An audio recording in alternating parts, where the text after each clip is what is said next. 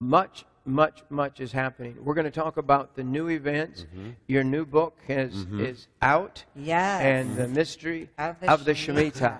Yes. Uh, it's shaking Wall Street.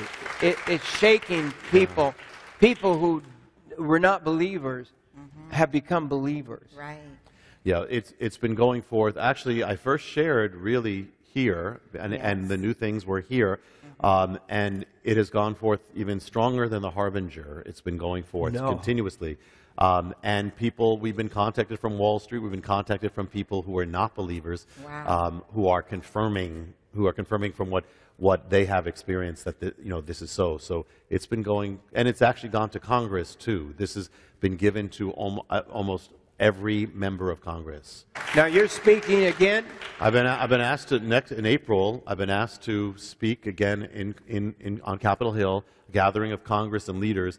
And actually, it's going to be April 29th, which is the day that America was actually dedicated to God at Cape Henry. When that, that's the, that's the first dedication God. And, and that's also about, you know, it was April 30th when Washington gave the warning at Ground Zero, you know, the whole thing at Ground Zero. So that's going to be there um, on April 29th. And then I also, in the last two weeks, received an email asking me to speak at the United Nations. much is happening. Right now, and- as we're taping this broadcast, this is a, one of the weeks that are kind of outstanding in the blood moon scenario Mm-hmm, situation and the moon. Now, God said there would be signs. Mm-hmm. Where would those signs to come from? Well, he said in the heavens, that's, that's one major source of signs. So it's interesting, yeah, at this, in this week, as we head towards the end of this week, um, we hit a very, very uh, fascinating convergence because what you have is, first of all, March 20th, you have the very, it's the very center day of the Shemitah, number one. It is the absolute day that marks the center of the Shemitah. That is March 20th. On that day of the center of the Shemitah, you have a solar eclipse, the darkening of the sun. On that same day, you have a super blood moon, or a super moon, which is rare. Super moon, even, even secular sor- sources have been writing that this is very rare to happen. You have a super moon, you have a solar eclipse, you have the spring equinox, that's another one, on the same exact day, the center of the Shemitah. Center of the year. The It's center exact- of that It's, it's the exact center day of the Shemitah. It marks the exact center point. All those things are happening on the exact center point. And it is also Nisan 1, which is the opening day of the sacred year of the Bible. Nisan 1 is the sacred new year. So you've got on the same day.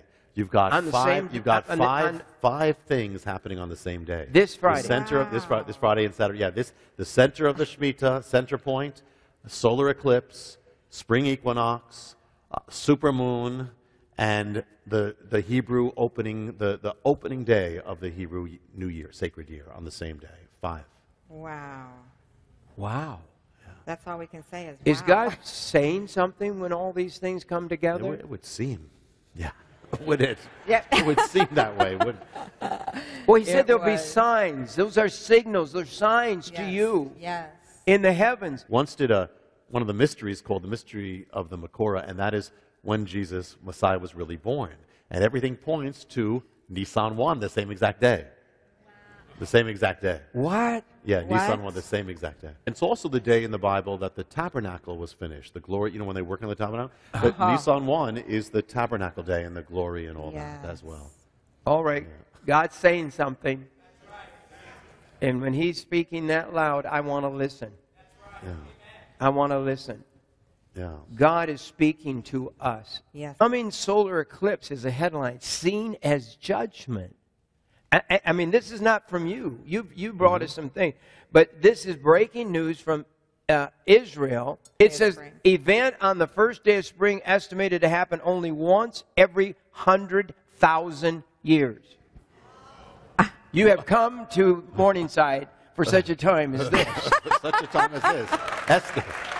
It By says a solar eclipse coming won't be just an astronomical wonder. It will be an event that may be unprecedented in human history, according to biblical experts who say it is an unmistakable sign of judgment. But do you have a comment on that, Rabbi? Well, I never heard the hundred. I mean, we I was seeing we were seeing all these things converge, and again, this is the center of the Shemitah.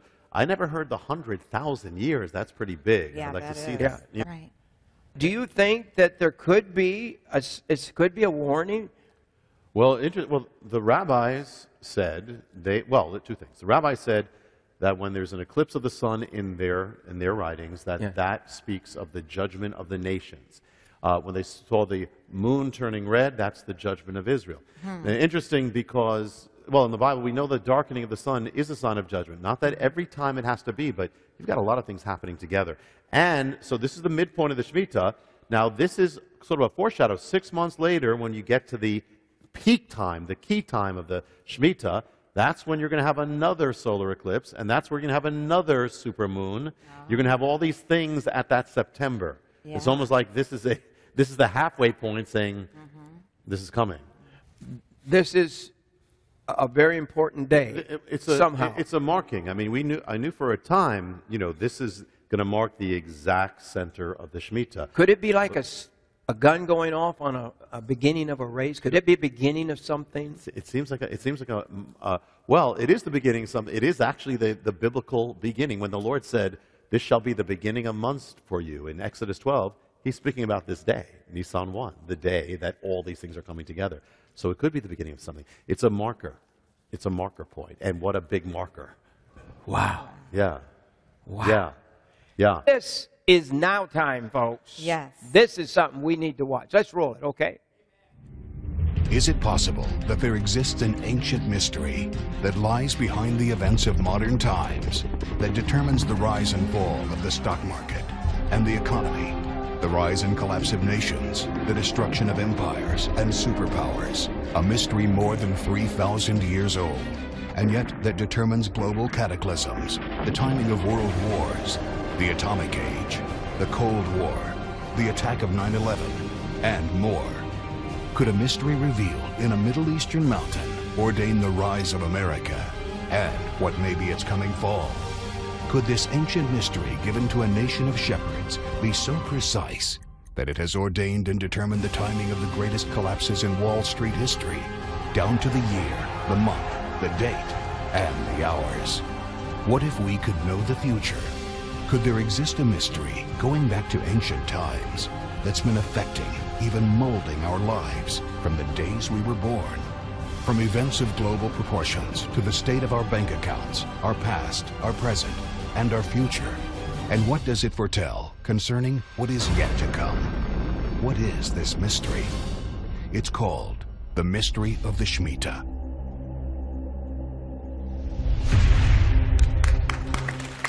The mystery of the Shemitah unlocked, and it is unlocked. And this is amazing. What an amazing! And that's the introduction. That's, not. that's That's, the not the part of. Maybe in, in the next few yeah, days we, a can see a few yes. pieces from yeah. it. It's the harbinger that this was before 9/11. I had an idea of it, but I wasn't wasn't sure yet. So I put this one verse in the book where the, the prophet says, "Well, it's not for that for us to say this now, but this thing is bigger." So if we want, we talked about. We can roll a clip. We'll have. it- You'll see very concisely, very clearly. Um, What's the last 40 years of our lives? How this has been exact, an, an exact thing. So I believe they have something of the. And of this the, is from your new movie. from this is from the Mystery of the Shemitah Unlocked, which just came out. I haven't seen it, but I saw it a, a, a screening. But so uh, if they have the one on the f- Yeah. yeah the four collapses. Clip two, I guess it is. Yeah, Let's roll two. that. In the last 40 years, there have been five major turning points in the financial realm. When the stock market reaches its long term peak and begins a long term collapse. The years of these turning points, these peaks, these collapses are these 1973, 1980, 1987, 2000, 2007. Is there anything peculiar or strange about these years? The Shemitah affects the financial and economic realms and takes place on a seven year cycle. The first and second turning point, 1973 and 1980. That's a seven year cycle. The second and third turning point, 1980 and 1987. Another seven year cycle. The fourth and fifth turning point, 2000 and 2007. Another seven year cycle. The Shemitah ordains a financial nullifying to take place according to a seven year cycle or mystery. In the past 40 years, every single major financial turning point has taken place according to a seven year cycle from the preceding or following financial collapse. Beyond this seven year cycle, do any of these five major collapses have any connection to the year of the Shemitah? The answer is yes. How many of them? Every single one of them. The year 1973 was the year of the Shemitah. The year 1980, the year of the Shemitah. The year 1987, year of the Shemitah. The year 2000, year of the Shemitah. The year 2007, the year of the Shemitah. 100% of the crashes take place not only according to a seven year cycle, but also according to the specific seven year cycle ordained in the Bible, the biblical Shemitah. Wow. Powerful. See how clear it is? Powerful. That, the whole video is clear. And so and everybody's going to understand it. Understand. Now, the next meter right after that, what's the next one is? The next one, the next one is focuses on the year 2015, which to- is which is now. Yes. Which is this this September, would it be? Begin, starts The in i- December. We're right hitting the hitting the exact center point. It is started in 2014 September, and then goes to September 2015, the peak period. If something is to be, then that that's the period to look for. And something every seven years we've had a collapse every of financials. single. Se- in fact, there's more than I even put in there.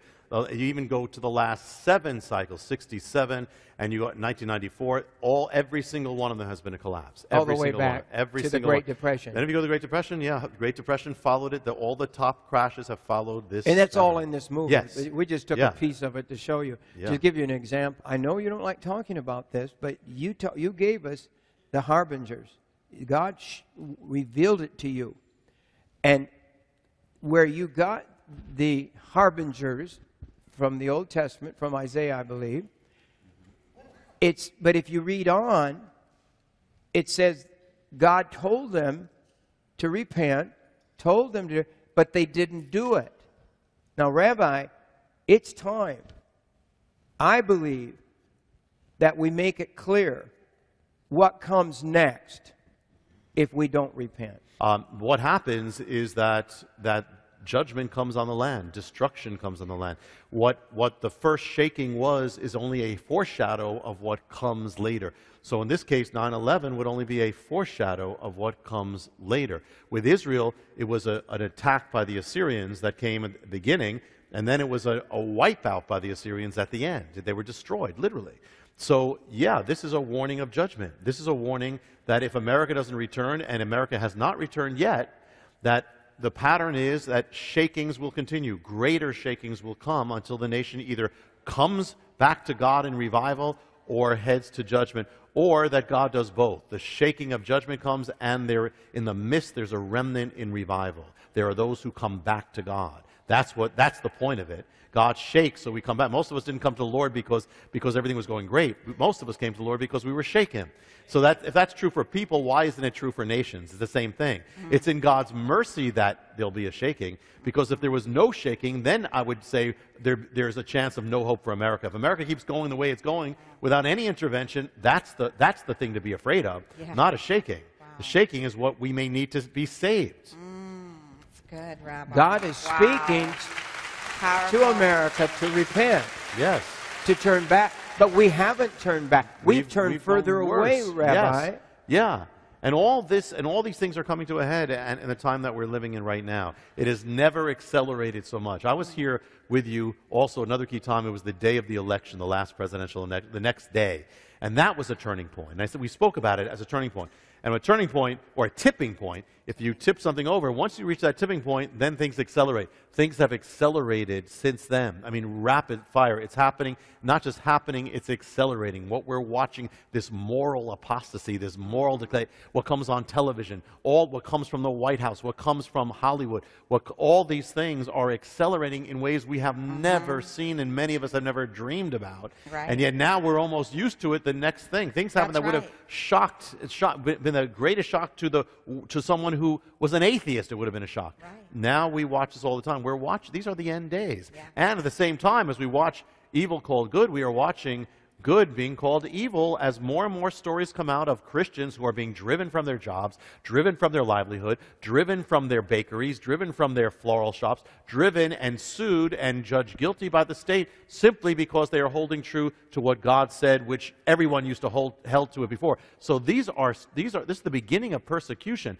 The same civilization that calls evil good shall call good evil, and that's happening at the same time. So, yet we need the hand of God to come upon this nation. Yes, we amen. need the hand of God. And, and the thing, in the Mideast, all over the world, in the Arab countries especially, the Christians are being persecuted. They're being driven out, murdered, uh, children being killed in front of their parents, parents being killed in front of their children, beheadings, beyond anything, thousands. was here one of the first times that I, I went on the plane in Branson and I said, Lord, you know, you know, you have me him this, this heavy message, you know, and it's heavy, you know. And, I- and, and I said, you know, it's a, it's a lot. And I just opened the Bible for someone to read in Branson Airport. I open up to Son of man, when I put a watchman on the wall, if he does not blow that shofar, that trumpet, I will hold him accountable. That's if the right. danger is coming, you must blow the trumpet. If you see danger coming, we must be the watchmen on the wall. We have to sound the trumpet. That's the gospel. And, and, and, and the message of peace, peace, peace where there is no peace, when the nation is so in, in danger with God, and to say peace, or to say the main thing is that God will make you rich, and just God, that, that is the sin of Israel. You know, they used to follow Baal. Baal was the God of prosperity. Right. That, Yeah. that, they used to merge God with Baal. Well, that's another sign of apostasy and danger, that very thing, that the, pe- instead of focusing on the righteousness of God, focusing on mammon, and you cannot serve both. God, God can bless you, but that is not our God.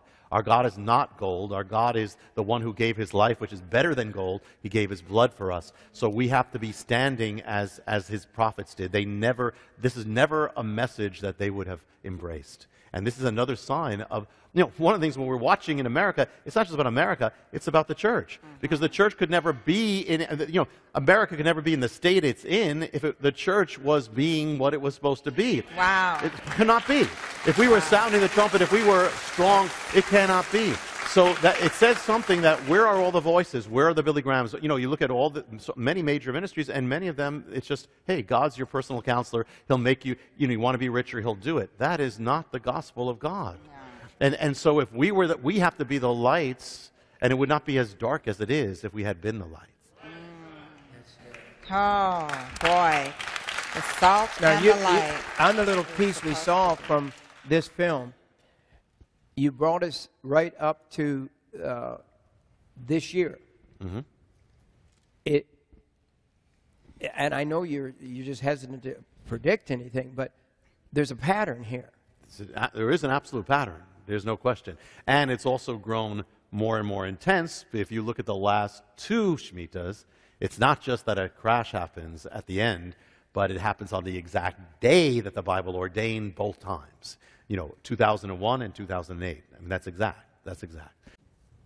Now you've given us all the way from the Great Depression, all on Shemitahs, Mm-hmm. all on the, the very day, Elul 29. Elul 29, 29. is one of the big days, Oh, and a wipeout day. And what, yeah, eh, 2001, greatest crash in American history on Elul 29 of the Shemitah.